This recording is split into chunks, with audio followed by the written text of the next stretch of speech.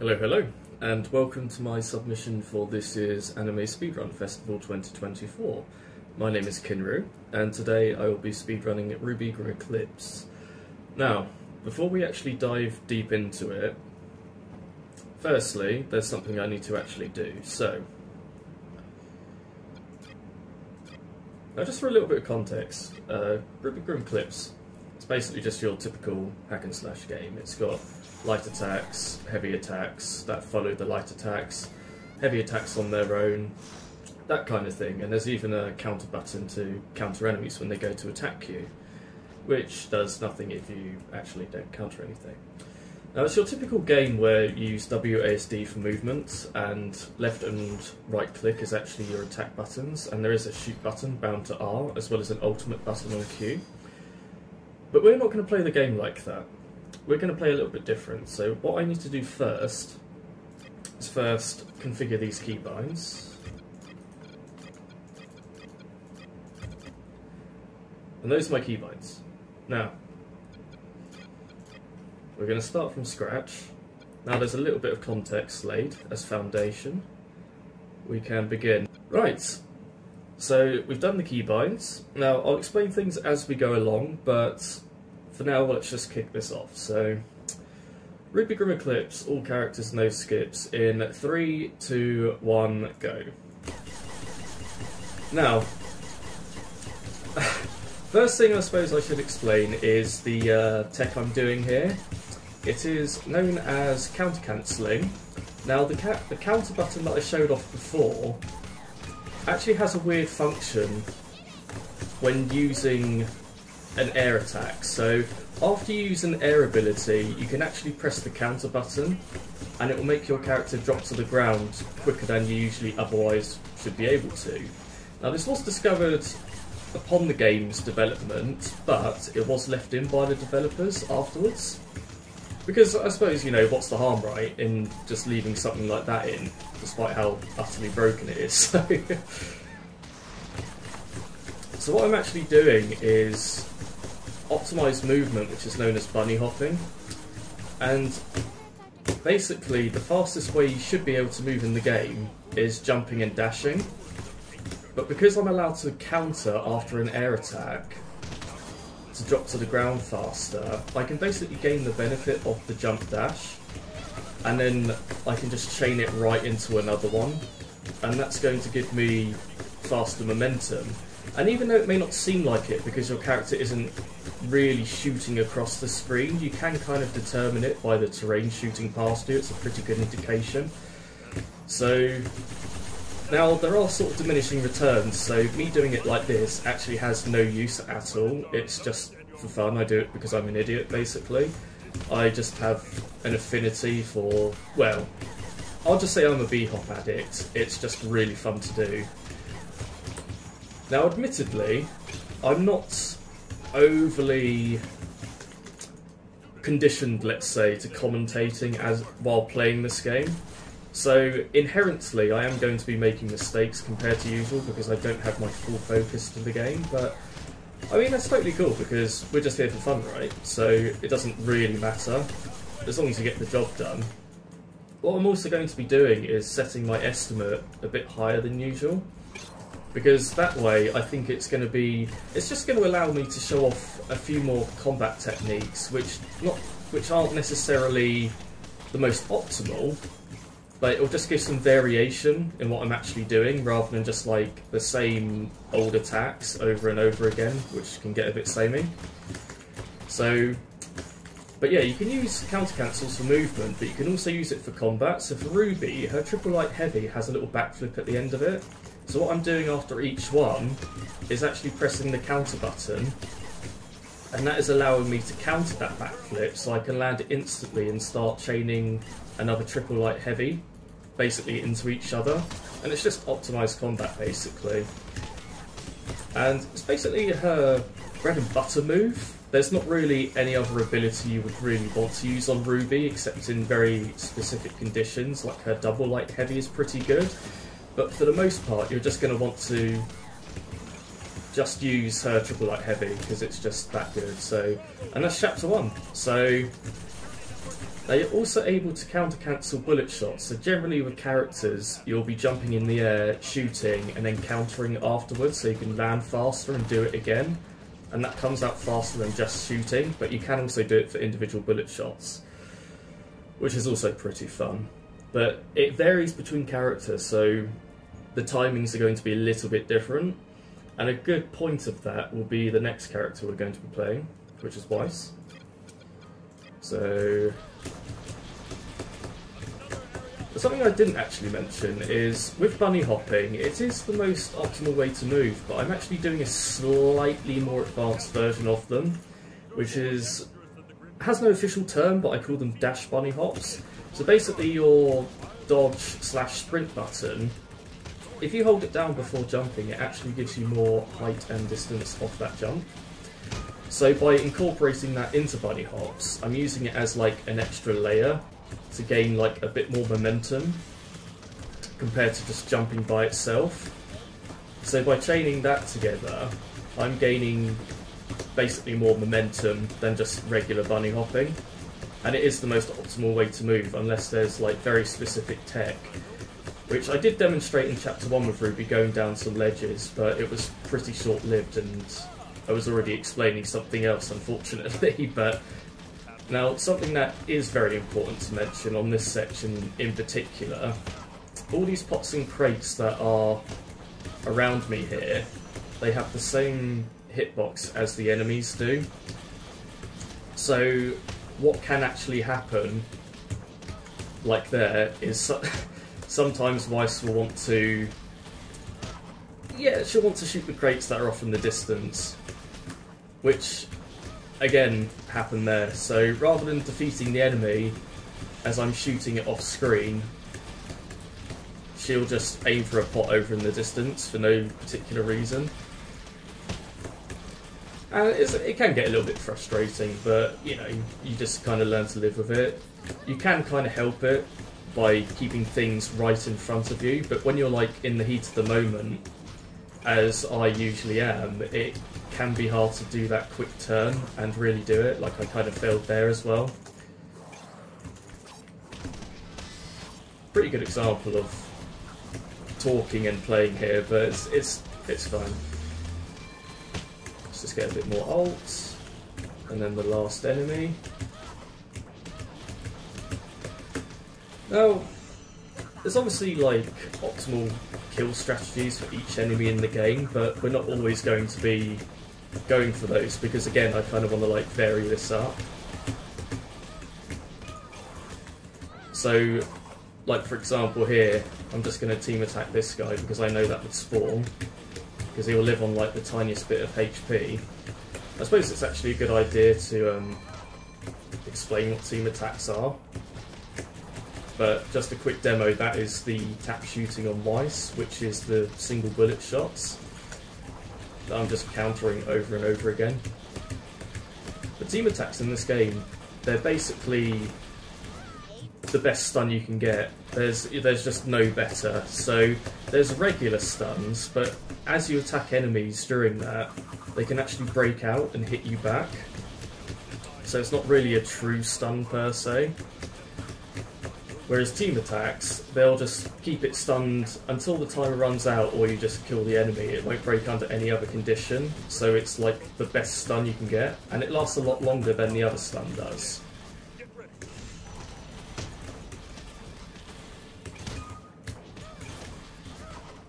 Being a bit slow here, but it's all good. So, final fights like this basically comprise of optimal kill patterns, just I know where all the spawn locations are, so I'm trying to have it spawn in an optimal way.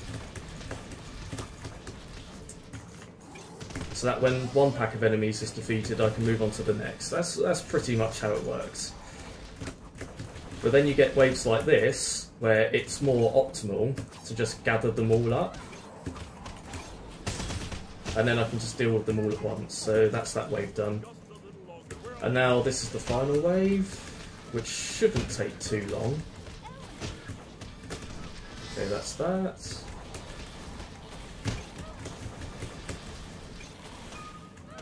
Let's deal with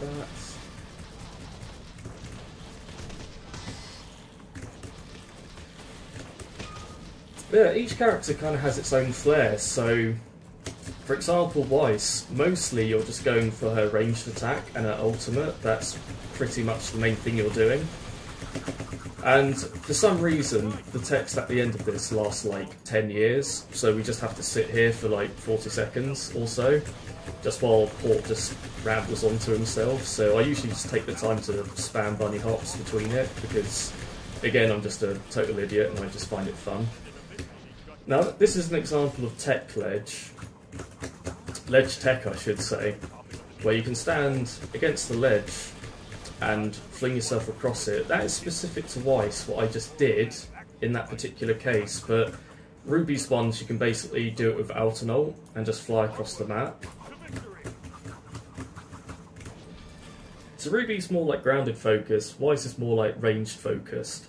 Now we're going to play Yang, and Yang is arguably the highest APM character that you can actually play with this kind of style. So, reason being, her aerial heavy is a hard downward swipe and it's a single hit.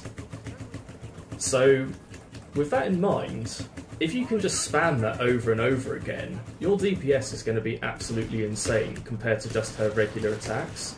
And it is her best attack if you can do it at a fast level. So in that sense, the game unintentionally rewards fast input speed, which I find absolutely beautiful. Like it's just so fun to spam buttons in this game.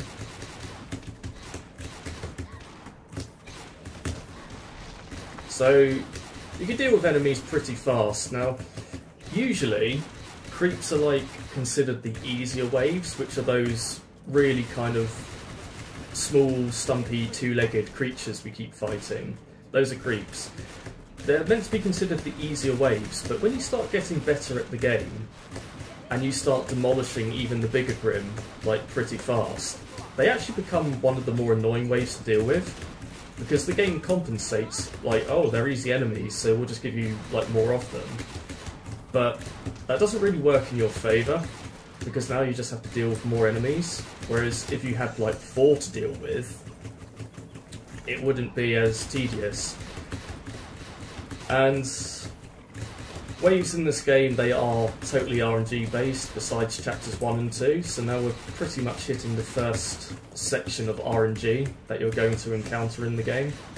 And from here on out, it is purely going to be RNG based. There's, you know, there's not really much you can do about it, so when you go for no skips competitively, you are very, very limited by the RNG. Just waiting for him to spawn. Counter. And that's that. Okay. Like I said though, there are diminishing returns when it comes to bunny hopping. It's a little bit of a shame because realistically I would just love to spam buttons and have it be successful all the time. But anyway, the fun's about to begin. Now what I'm doing here is, apart from failing, I'm basically condensing down the counter-cancelling of the aerial heavy into smaller segments and it's a lot easier to do two-handed but it's only really good against Ursas because they have no knockback. Anything else I hit with that aerial heavy is going to get knocked away from me. But an Ursa will just stay put, so I can just wail on it the whole time, and it doesn't really matter. And because all my movement is bound to my mouse, that is pretty ideal considering when I take my hand off it I literally cannot move. So I'm just going to intentionally take damage here and get some ult back.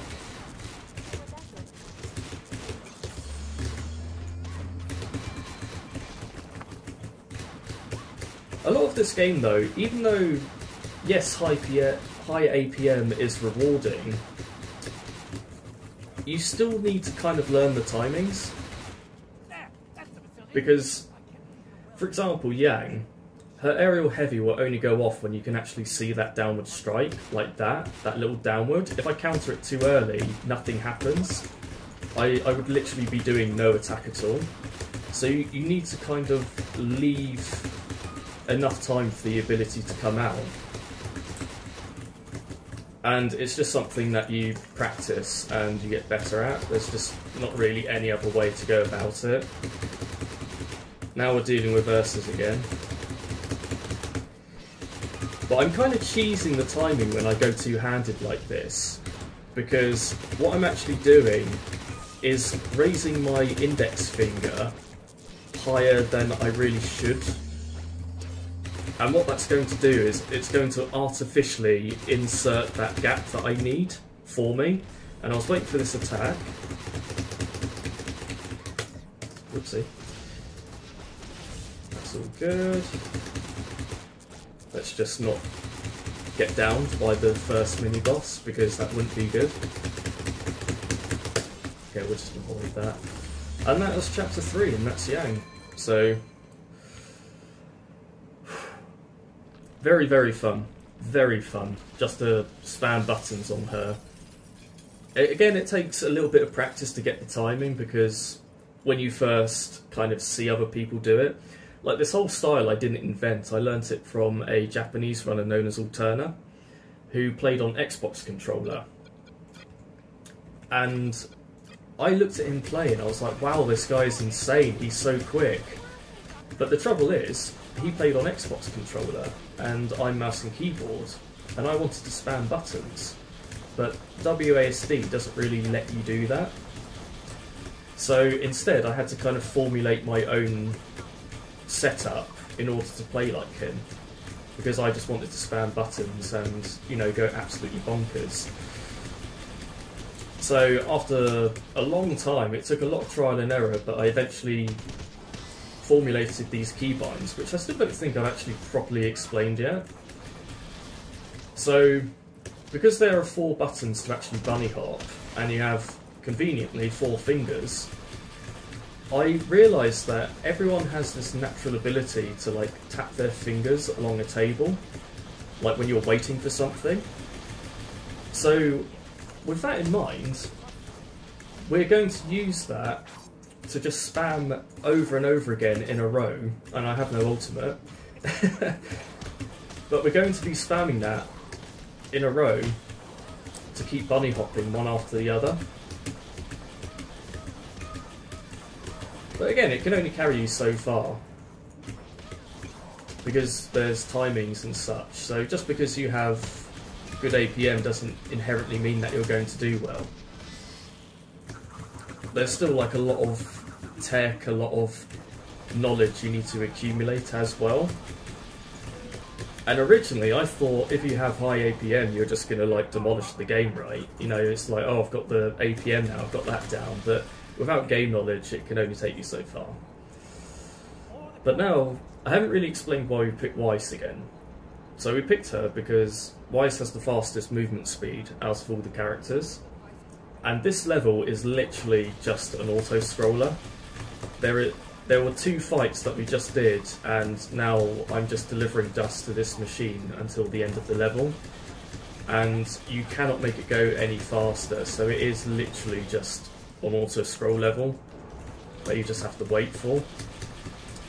There's a little bit of strat you can do with this, so dust can only appear at one terminal, and I know there's three in this room, so now that one's been used, it can only appear in the other two.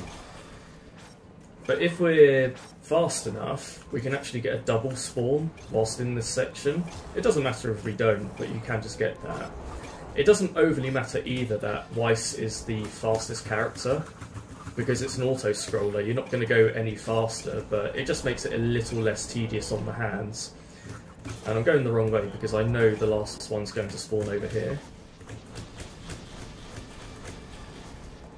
I'm sure you've probably noticed as well, but every now and again I will just do an input error. My keyboard actually does have an issue as well, where it does double input sometimes, so I'm sure every now and again I do get caught out with that by it double countering. We didn't get the double spawn either, but it's all good. But I think for the most part it is just going to be me dropping inputs, because that's just the nature of spamming keys. But I wouldn't have it any other way, to be honest. If it means I can spam buttons, then all good. So, I'm just going to ignore all the enemies, there's no need to fight them. I was going to wait until it got to the next section, which would guarantee for the last bit of dust to spawn up ahead at the terminal. But honestly, it doesn't actually matter. It, it, like, you're just delivering dust anyway, so as long as you're quick about doing it, it doesn't really matter the order you do it in. But this will be the last dust, and now we just wait for the end of the level. So, that was pretty much chapter 4, so that is exactly why I didn't pick another character, because you're just delivering dust, it's a total waste otherwise, so we just use Weiss again, make it a little bit easier on ourselves, but for now we're just going to go into completely fresh characters, now that level's done and dusted. The only issue with this game is that there's like 10 billion things to explain, and, and we're going through characters quite fast as well. Like four minutes isn't really long enough to explain really what a character can do and the intricacies of it. And there's also game tech that I'm wanting to explain, so... But, still going to be trying my best as we go along. But now we're going to go on to the cat girl of the show, which is Blake who has her own unique style as well, because again, all characters have their own way of playing. There's quite a few combos you can do on Blake, and of course there's going to be optimal ones, but we're going to be just basically exploring all of them. Blake also has a really good tap shoot because her bullet more or less comes out on the same frame, like on the first frame. So with that in mind, you can just spam it pretty much to your heart's content, and she'll just ricochet bullets all over the map.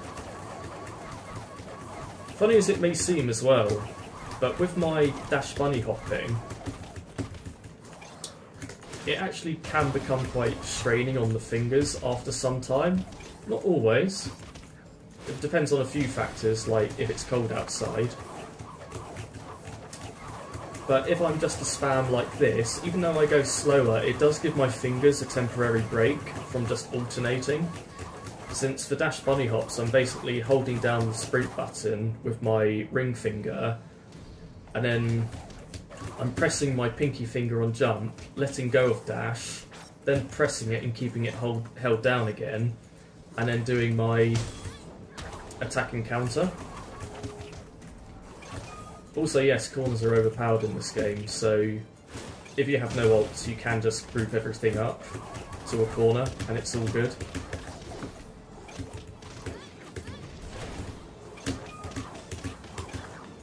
Counter that, and that's that done. What are we getting now? Okay, because there's a gap here, I know that an alpha creep's about to spawn, and some alpha creeps in this game are programmed to spawn after like a 12 second delay, which is totally pointless, but that's what they programmed.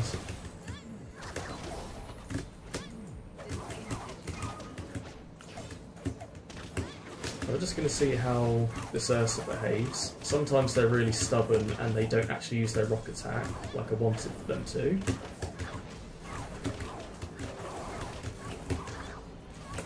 Now this section in the game is renowned for being very, very RNG heavy.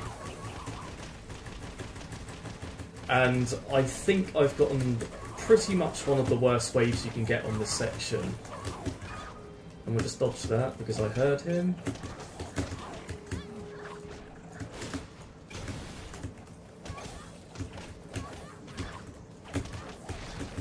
And that's that section done. But you can have that last a lot longer. But also a lot shorter. so, it's all good. We're heading towards the second to last area of the mission now. But more or less on Blake, what I'm wanting to do is damage things with her aerial heavy, and then you don't actually need to do that, you can just poke them as well which also gets the job done. Her team attack is also very, very good, so it can... And it's also fast, so you can use it to finish off enemies. Just seeing if that thing's going to... There he is. Okay. I was waiting for that because that can be pretty detrimental to your health to say the least. Yeah, those mutated creeps, they can burrow underground. Now, they're the weakest enemy in the game, but it's their explosion upon death that really does the damage to you. And if you're not prepared for it, and you're not really aware of them, they can just... If you've already taken damage, they can just one-shot you.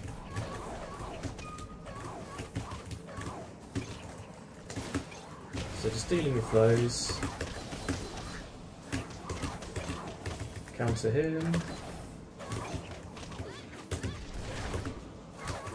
And again, like some of these kill combos, they aren't really optimized or anything, but it's just to kind of do something a bit different.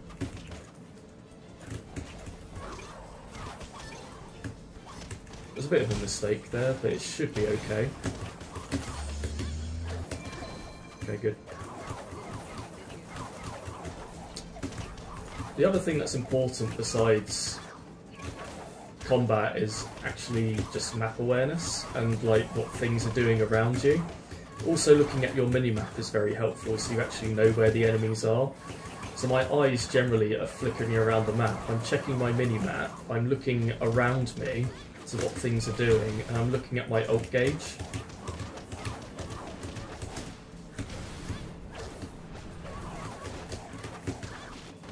because ult management in this game is also very, very important. But again, this is kind of where game knowledge can tie in as well. So if you know what you're going to be going up against in any particular wave, let's just do this really quick. I am failing it, unfortunately, but there's a little trick here I want to do. Just a little combat trick. There we go. Okay. So, against mutated Beowulfs, you want to shoot them to stun them, and then characters will use a charged heavy attack on them. And then usually you shoot them again and then you use another charged heavy. But on Blake, when you shoot them and use her charged heavy, it just instantly breaks the stun. So what I'm doing there is using her triple light heavy, which leaves a clone. I'm countering the backflip, shooting it to stun, and then I'll use an uncharged heavy as the clone explodes and knocks it back. And then I'll use a charged heavy at the end. So because they can only take three hits before the stun breaks, that is all the three hits. The clone explosion, the uncharged heavy, and the charged heavy. With just inserting the bullet shot in there as well to instigate the stun.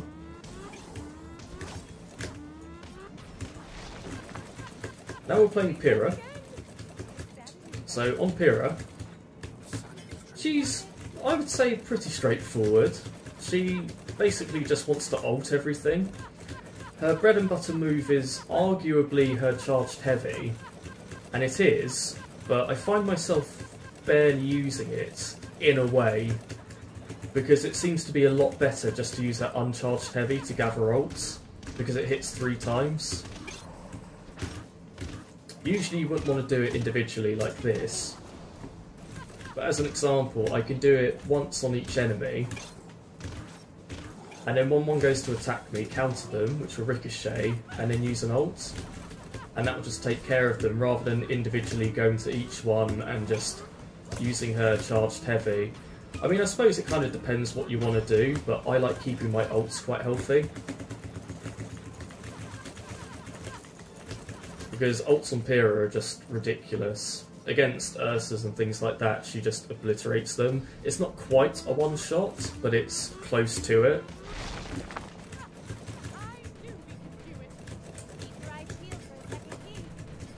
So we're just looking for a key now to move on to the next area.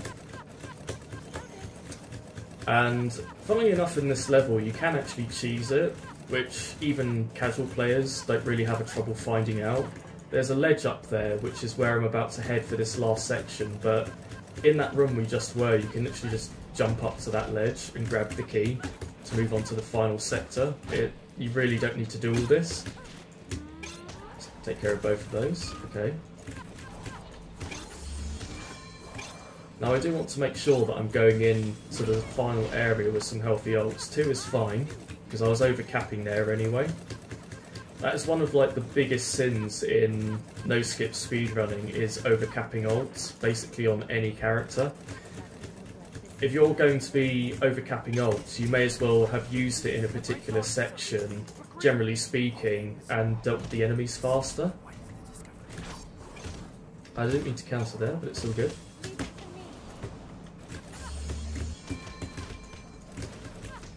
So we're basically just at the final section again, dealing with the enemies, and then we can move on to chapter 7. So, again, it's all RNG dependent. I have no idea which waves are going to spawn, but I have knowledge about each wave that will spawn. So I kind of know how to react when I see the number appear, because that's pretty much an indication of what I need to do, looking at how many enemies are left.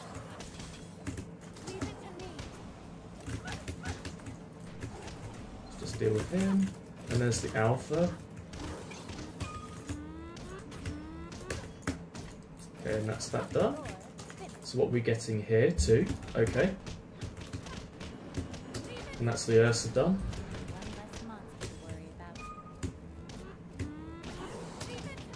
And that's that done. Okay. Like, Pyrrha's ult is just absolutely absurdly overpowered.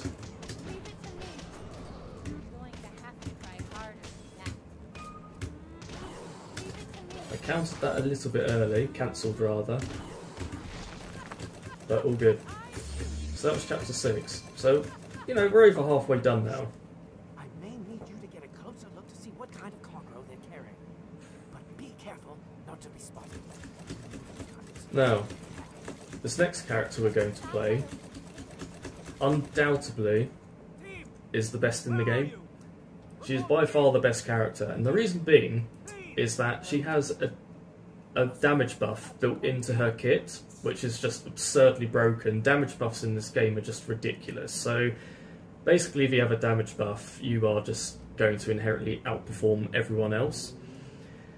So she becomes the strongest character in the game.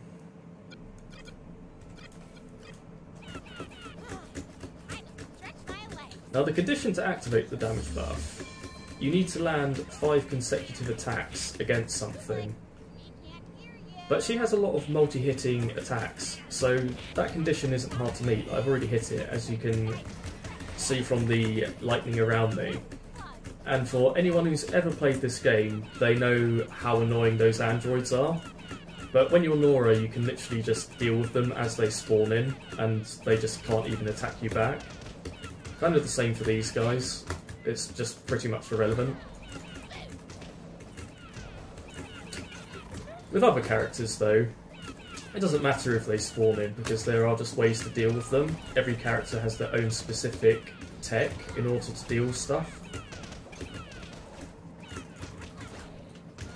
And that's that. Now it's funny, because if you're doing any percent, pretty much like 90% of the fights are actually able to skip over, probably even more than that actually. There's a thing you can do as well called wrong warping, where if you avoid a checkpoint of one of the of part of the mission, and then you hit that checkpoint after completing the mission, the game will think you're on the check that checkpoint of the next mission you're about to do, so if I hit the second to last checkpoint of this mission after completing it, I will then be put at the second to last checkpoint of the next mission, as long as they have the same number of checkpoints. It can get a little bit confusing, but some fights you don't necessarily have to physically skip over is what I'm trying to say. You can just press play and you're at the end of the mission already, which is cool and everything, but I think would get perhaps a little bit samey, because without any kind of context,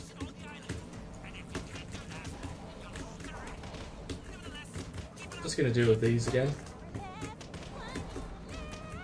Okay, one, two, three, and that. So Nora actually has a funny little bit of tech where she has an ability in her talent tree because all characters have, have skill trees. But there's an ability that gives her chained lightning on all of her basic attacks. But for some reason, this reduces the time between her attacks. So I shouldn't be able to do it, but you can actually spam her dash light attack, and it has some pretty good DPS. Also, you can just hop up there and grab that relic, because why go around? You're meant to really go around and jump up. So what I'm doing here now, I'm waiting for Merlot to say important. When he does, okay, I'll shoot these because conveniently there's five crates. So I can get my damage buff active before the, the round even starts. Which is always very nice.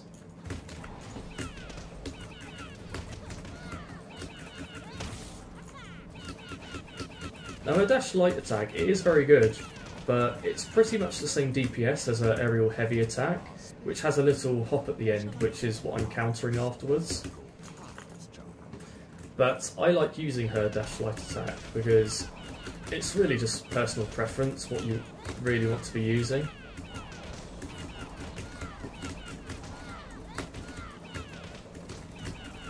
One, two, three. And then there'll be an Ursa, which we can just demolish. And that's that, okay. It's a little bit hard to explain all the different kill strategies, but just know for Nora in particular that she just demolishes stuff as they spawn in. So it's not really a fight so much as it is just a slaughter.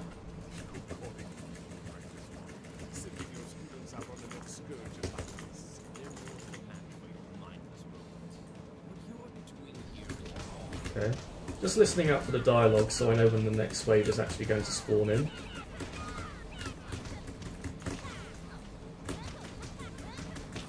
Just going to be spamming that dash light.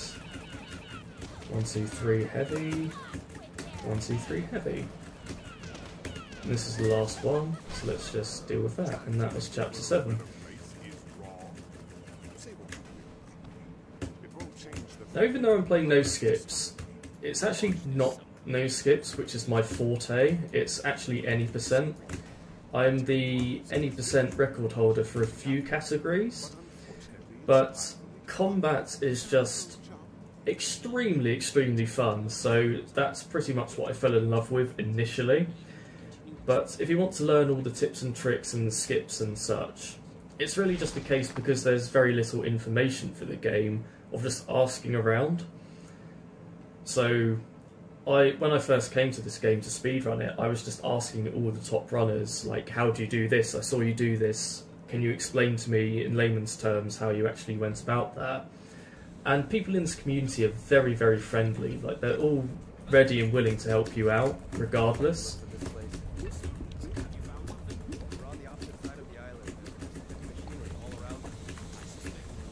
And the community isn't overly that large, which is a little bit unfortunate, but we're always welcoming welcoming to new runners. For Ren, I'm basically just using his aerial heavy here to gather the enemies up. And then I can just use a charged heavy at the end because he has an, a talent to make it an AoE. And it drains his health to use by 50%, but it hits very hard. So by gathering those Beowolfs up, I can just use that after, and it deals with them. And androids are basically just fodder due to his ult.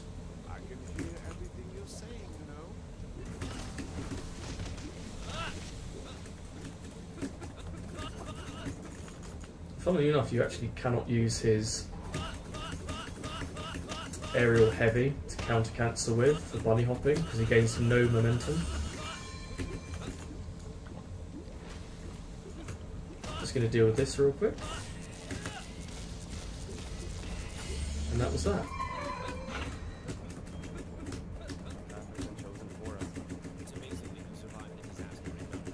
Now I've no idea what the APM counter is looking like, but I haven't been going utterly, utterly ballistic this game, but I would say generally what I'm looking for is about four to five hundred APM as a kind of average. By the end of the gameplay, like the whole playthrough, there should be about 20,000 key presses, something like that. So if it's a bit under that, then I have been more or less underperforming.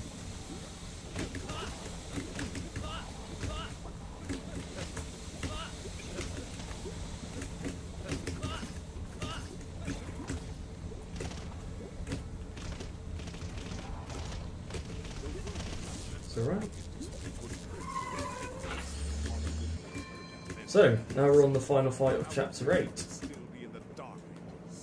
And then we'll be moving on to the final character. And then there'll be one more repeat for Chapter 10, which I will explain when we come to that. So again, I'm just gathering up the Beowolfs. It also builds a little bit of bulk for me, which is lovely. And there we go. And now I can deal with the androids. So... And that's that wave.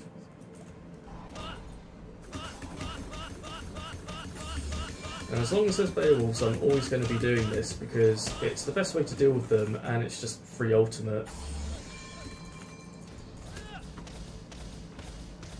And that is wave 2 done. What we got for this? Okay. Very easy wave here. And then there's two mutated creeps. And then the final wave, what have we got?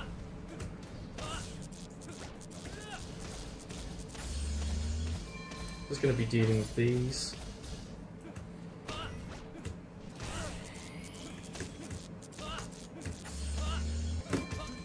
And that was that. Okay.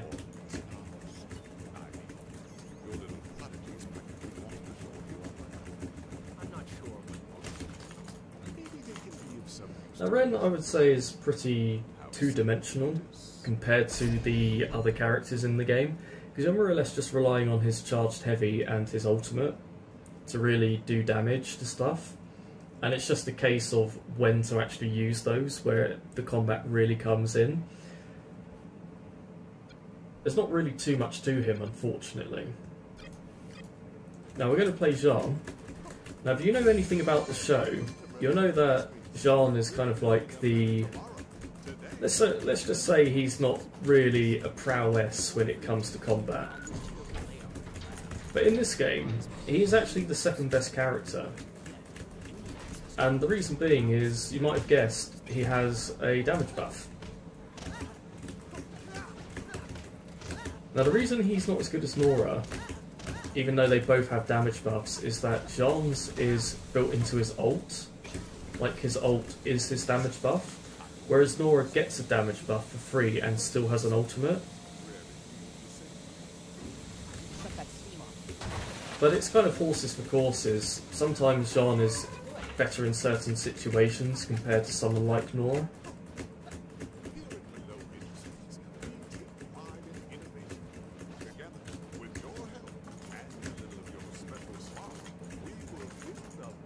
See which wave we get. It's creeps, so I will not bother wasting an ult. And then there'll be two mutated creeps. And then that's that, okay. Three ults going into this section is actually quite a luxury, usually it's just one, but because we got creeps on two waves, there was no real need to actually pop an ult. But we're popping one here just to deal with these vats a little bit quicker. Okay, and it should wear off here, there we go.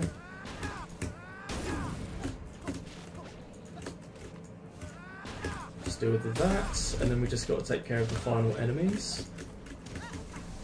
It looks like we're getting mutated Beowolfs, which is all good. Okay. And then there'll be one more. I don't overly want to be wasting another ult on it. Yeah, no need. Okay. Yeah, you can get quite a lot of visual glitches in this game as well. totally not buggy.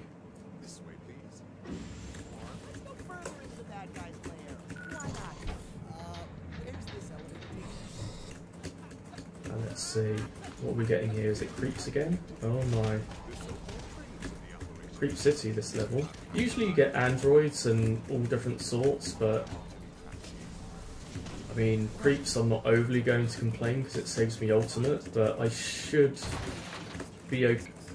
I might have a little bit too much ult for this next part, but we'll see. But I suppose you can never have enough, right? But I may just overcap or end the level with one spare. We'll just see how it goes, because again, it's kind of RNG dependent.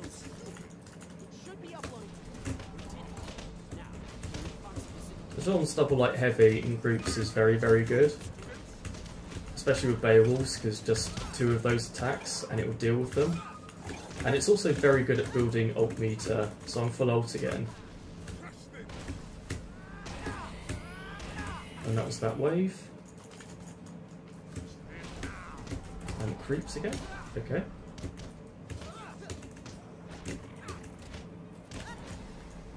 Beowolfs. Something important to note about Jaune's ultimate, because it knocks everything away from him, if you're surrounded by enemies and you use it, it's just going to knock everything away from you in like a donut shape. And that's not really ideal, so really what you want to be doing before you ult is jump away from things and then ultimates, they all get hit in the same direction.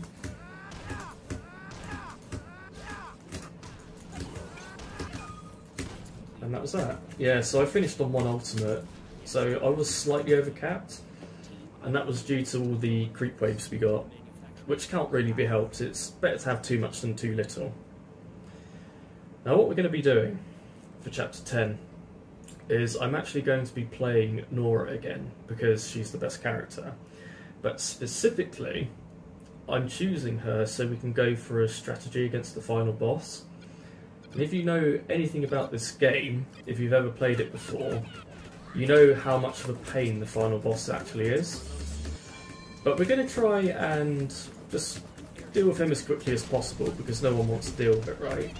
So rather than spending, I don't know, like maybe three or four minutes trying to deal with it, we're going to try and deal with him in about 40 seconds. But the strategy is very, very inconsistent because it depends what the enemy actually wants to do. So it depends which attack the boss picks, it depends whereabouts the enemies are positioned and which one's going to attack me and which attack it chooses to use. It depends how fast the androids spawn in for the map, so it's really, really inconsistent because there's so many factors, but we like going for the risky play style, so that's what we're going to do. Now what I'm actually going to do, if it if I get downed, I will go for the strat again. If the strat doesn't work and I don't get downed, I'm just going to carry on the boss as normal because there's no real reason to go for it again because we didn't get downed or anything.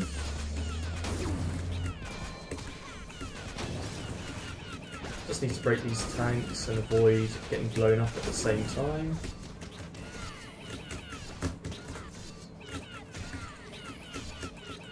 Okay. And now we're heading to the final part. Now, Nora's talents, I actually go for pretty much all the defensive talents apart from improved aura regen because it doesn't inherently increase your survivability. But I've got a talent to increase the damage I can take after my aura is depleted and I increase my aura. And that's all specifically to be able to do this strategy on the boss so I can tank more hits and play very risky because that's how I like to play. So there's just four waves to do before we can actually get to it.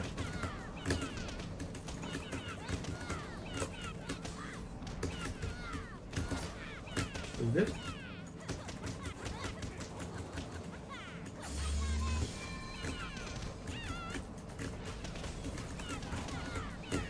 Actually doing with Nora is if you land directly on something with your, well, a Beowolf with your aerial heavy, it should take it out with her damage buff. But if you don't, it will always live on a slight sliver of health, like if you hit it at a slight distance. So what I'm doing, because I know the Beowolfs are going to survive, I'm countering the hop at the end and just firing a bullet, because then that will deal with it. Let's just deal with this uh, Ursa here.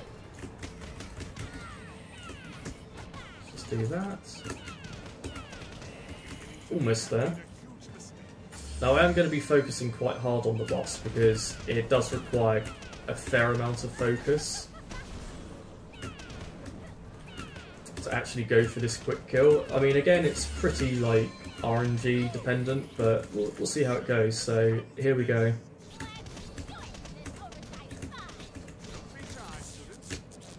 Bit of a hiccup but it's alright.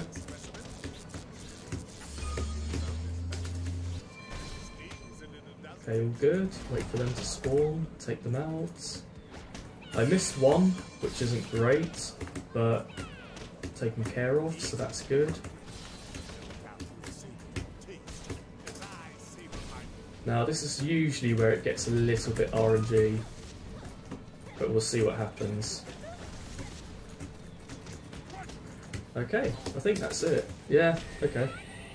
So we got pretty fortunate there and everything kind of went my way.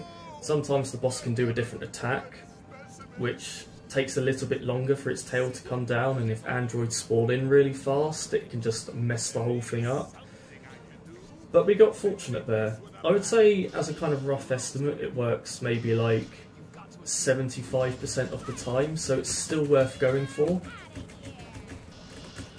But anyway, time is going to be called as this airship comes in and the screen fades to black. And time. So yeah, that was RWBY Grimm Eclipse, all characters, no skips. Hopefully I've been able to show all the different abilities and things you can actually do on the characters. It's a game that's often sort of brushed over, but I feel like it has a lot of potential to actually you know, if you have lots of energy and you like a game with a fast play style and you just generally love hack and slashes, it's one of the top games out there for that kind of thing. It just really needs the potential unlocking first, so... But yeah, that was RWBY Grimm Eclipse, so hopefully you enjoyed, and thank you very much for watching. Take care.